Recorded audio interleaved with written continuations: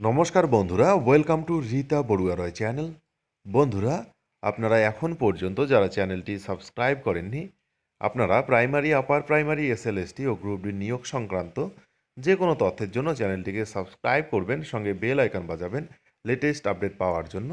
এছাড়াও সরকারি কর্মচারীদের ডিএ পে কমিশন সংক্রান্ত খবর জানার জন্য চ্যানেলটিকে সাবস্ক্রাইব এবং বেল আইকন বাজাবেন।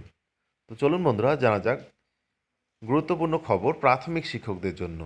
এবার পঞ্চম শ্রেণি চলে আসছে প্রাথমিকে। খুব কম সংখ্যক প্রাথমিক স্কুলে পঞ্চম শ্রেণি রয়েছে।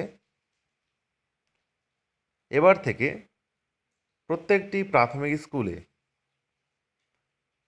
পঞ্চম শ্রেণি যুক্ত হচ্ছে। অর্থাৎ হাই স্কুলের সঙ্গে যে পঞ্চম শ্রেণি ছিল সেটা প্রাথমিক স্কুলে চলে আসছে।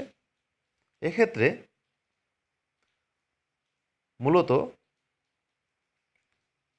আলোচনার মাধ্যমে দুটি কারণ বেরিয়ে এসেছে যে কেন সরকার পঞ্চম শ্রেণীকে প্রাথমিকে নিয়ে এসেছেন। এর দুটি উদ্দেশ্য রয়েছে।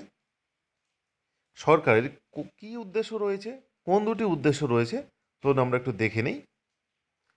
এক, সর্বভারতীয় শিক্ষা ব্যবস্থার সঙ্গে প্রাথমিক শিক্ষা ব্যবস্থার সামঞ্জস্য তৈরি করা।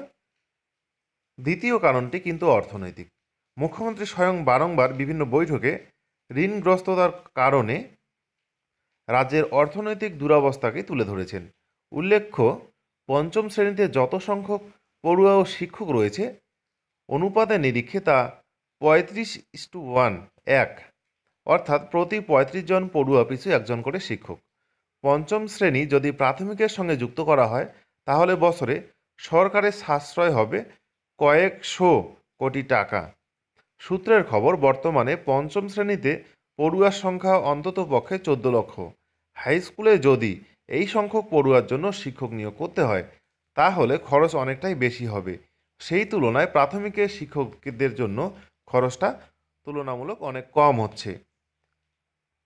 বঙ্গীয় প্রাথমিক শিক্ষা সমিতির সাধারণ সম্পাদক স্বপন মণ্ডল বলেন, সর্বভারতীয় ক্ষেত্রে ভারতের সমস্ত রাজ্যে পঞ্চম শ্রেণীকে প্রাথমিক শিক্ষাতে রয়েছে। ব্যতিক্রম আমাদের রাজ্য। এই সংযুক্তিকরণ অনেক আগেই করা উচিত ছিল। যদি সরকার এই পদ্ধতি মেনে চলতে পারে, সেক্ষেত্রে প্রতি বছর সরকারি খাতে চারশো কোটি টাকা বাঁচতে পারবে।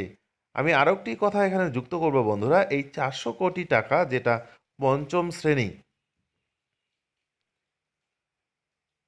প্রাথমিকের সঙ্গে যুক্ত করার ফলে বেঁচে যাবে চারশো কোটি টাকা বছরে। সেটা কিন্তু সরকারি কর্মচারীদের ডিএ দেওয়ার ক্ষেত্রে সরকার কাজে লাগাতে পারে।